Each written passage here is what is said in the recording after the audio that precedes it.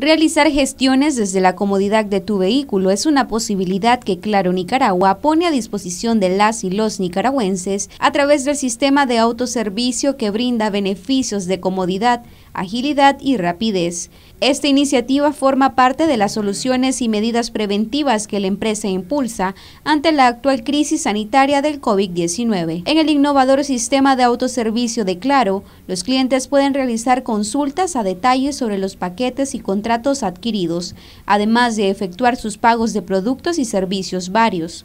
Con esto, el usuario maximiza su tiempo y es una opción alterna que le brinda mayor confianza y seguridad. Claro Nicaragua está en constante innovación y es por ello que brindamos a nuestros clientes diversas opciones de servicio ante la actual crisis sanitaria que vivimos.